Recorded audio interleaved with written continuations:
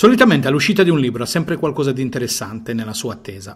Quando l'autore decide un nuovo lavoro sa già cosa e chi ci sarà dentro, quali sfondi faranno capolino dal suo scritto e quale sarà l'atmosfera che sarà cardine delle sue parole. Questa volta il nuovo libro della bella e brava scrittrice bitontina Chiara Cannito ha un sapore molto delicato, ma al tempo stesso pregno di significati perché va a scoprire un lato nascosto, immerso nella tradizione millenaria delle processioni della nostra città. Perché di questo libro è creare prima di tutto uno strumento che potesse essere veicolato in tutta Europa all'interno di questo percorso di candidatura da parte dell'Associazione Europassione delle settimane sante di diversi comuni italiani. E noi rientriamo in questo percorso da circa un anno quando dico noi intendo l'Arciconfraternita del Santissimo Rosario che ha deciso di eh, realmente investire nella sua storia e nella sua tradizione secolare oramai eh, e poi eh, decidere di adottare punto di, un punto di vista nuovo, diverso, forse sempre tralasciato della settimana santa che è appunto quella del portatore, il punto di vista del portatore che è colui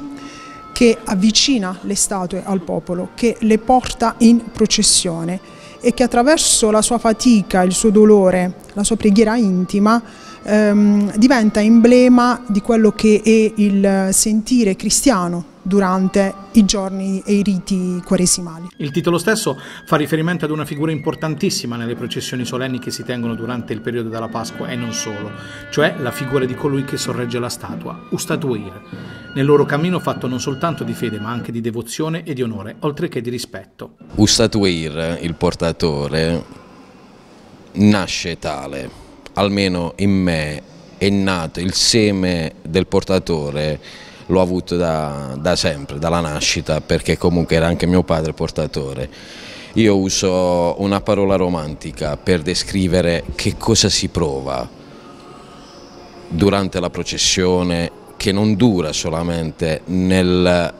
nel percorso del, della processione, ma dura una vita intera. E uso questa, parola questa frase romantica. Si prova la sensazione di stare in paradiso camminando sul velluto. Durante la processione noi ci spogliamo della maschera de, della quotidianità perché non perché durante l'anno siamo ipocriti, siamo falsi, no, ma perché in, in quell'esercizio c'è la, la, base, siamo, eh, una, eh, ci approcciamo in una maniera eh, semplice, in una maniera diretta e con la pace interiore. Il libro è stato presentato nella chiesa di San Domenico il primo giugno, alla presenza tra gli altri dell'autrice, della professoressa Minenna, profonda conoscitrice delle tradizioni bitontine, e del protagonista del libro, Michele, che ai nostri microfoni hanno trasferito tutta la loro emozione nell'aver preso parte alla stesura del libro. Un libro certamente da non lasciarsi scappare per chi ama la magia delle tradizioni.